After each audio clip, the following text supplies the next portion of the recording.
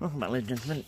Today I'm going to be showing you how to make this into a nice little planter. It's a leaking water uh, watering can. I've had it a year or so.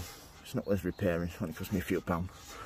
So first of all, what you need, you need your watering can, your hammer, your hole punch, then. Your compost of course. Going to plant it with these beautiful polygon, uh, petunia coins I've taken.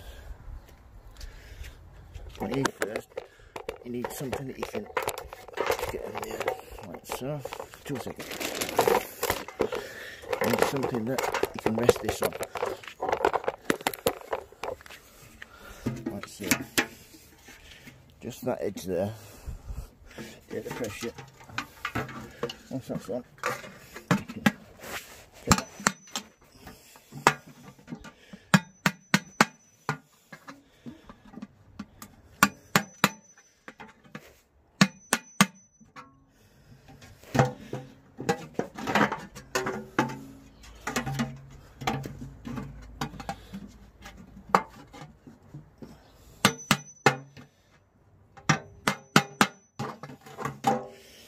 once you punch your hole through, you've got plenty because they're only tiny. So then that lets the moisture out at the bottom. Simple as that. Then all we need to do is fill it full of compost. Simple as that.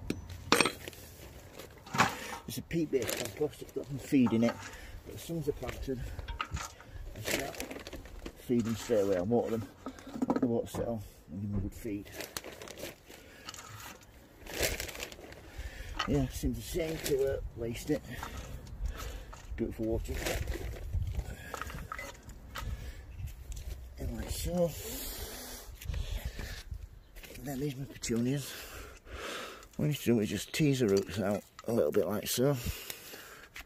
Doesn't matter if you plant these a little bit deeper, they will root. Like so. So around there. The next one in. These are being sprayed for powder mildew, because they do tend to get that. This one in. And then top it up with compost around them. Don't to ferment them, because once you water them, they'll settle down nicely as long as there's enough compost in there. And that's it. Simple as that. You can have that up like so, or a bit further down, whichever one you want. When you do then, it's give them a good water. Once, I've, once when I water these first time, I like to, it to be really running out the bottom. Using this, you get rid of any compost that you've spilt. Tidy them up, like so.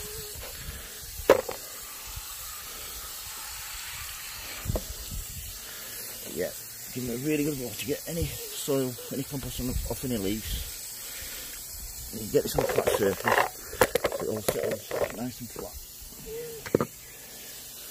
Like that.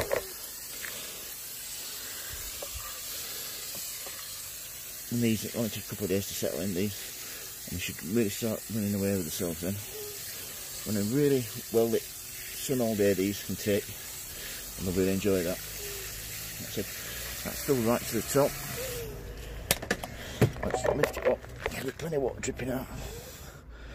Yeah, see it there, just starting to come through the bottom.